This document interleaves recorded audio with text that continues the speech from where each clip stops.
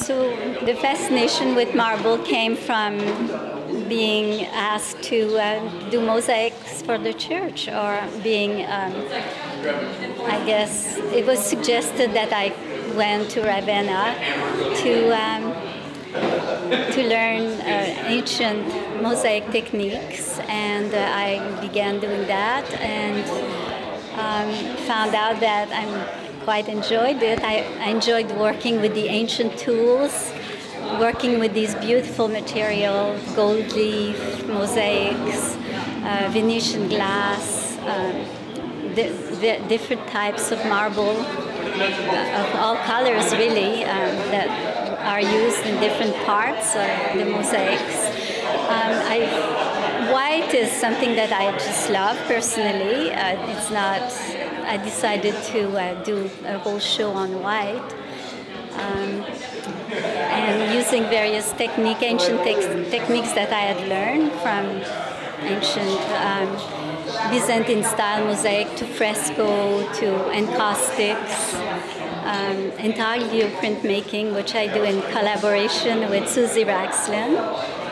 Um, I do. I still do a lot of oil paintings as well. So I work all the time in a way. Um, is behind you. Can you tell us a little bit of what's the materials and the piece besides marble and how long, for example, it took you to put it together?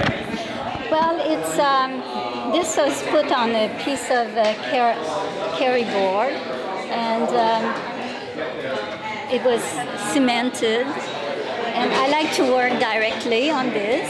So um, it took how, long it takes. Well, the, after cutting all these pieces to the desired size, uh, to apply them one by one is a very meditative process. Yes. Um, it took me months to do this, of course.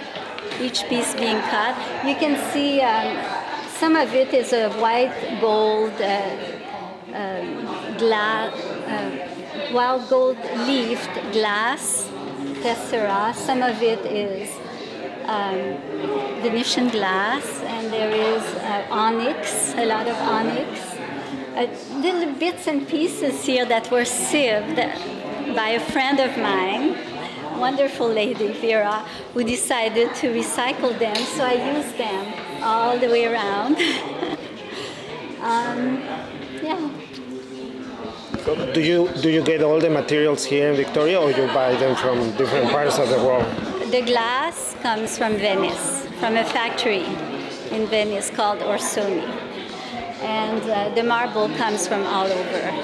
So sometimes it comes from a large slab that is recut with um, a saw, and sometimes from smaller pieces that I recut with the ancient tools, with the martella and the hardy.